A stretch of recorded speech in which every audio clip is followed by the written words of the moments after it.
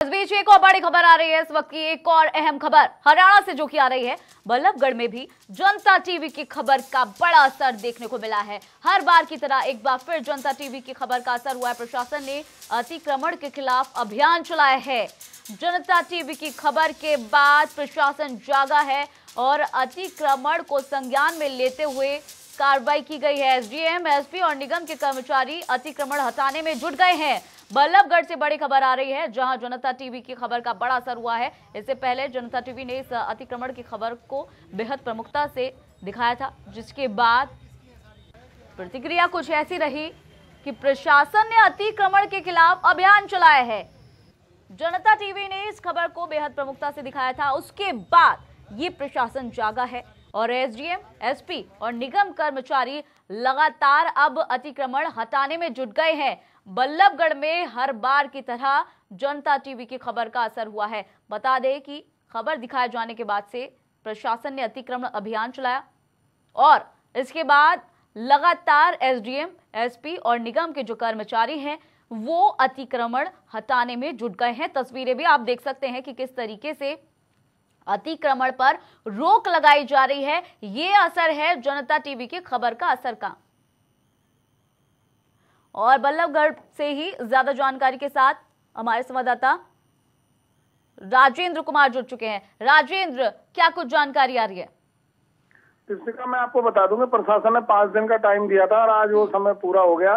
और इसी को लेकर आज एसडीएम और जो एसीपी हैं उन्होंने यहाँ का पूरा दौरा किया और दुकानदारों को समझाया भी और साथ में चेतावनी भी दी है। हाँ। हालाँकि सभी लोगों ने जो अपना सामान है वो अंदर कर रखा था लेकिन उसके बावजूद भी जिनका दो चारों का है बाहर उनको लेकर पूरी चेतावनी दी है कि अगर आगे से इस तरीके की कोई भी सामान उनके दुकान के बाहर रखा गया तो उनका चालान काटा जाएगा और जो कानूनी कार्रवाई है वो भी उनके खिलाफ यहाँ पर की जाएगी। बिल्कुल राजेंद्र जी अतिक्रमण को लेकर ये जो अभियान चलाया जा रहा है चला तो दिया गया है लेकिन कितने दिन तक चलाया जाएगा ये भी बड़ी बात है क्योंकि अतिक्रमण पहली बार नहीं है। इससे पहले हमेशा से ही अतिक्रमण जो है वो चलता रहा है। जनता टीवी ने इस खबर को दिखाया उसके बाद प्रशासन जागा है। इससे पहले प्रशासन क्या कर रहा था? बड़ा सवाल है।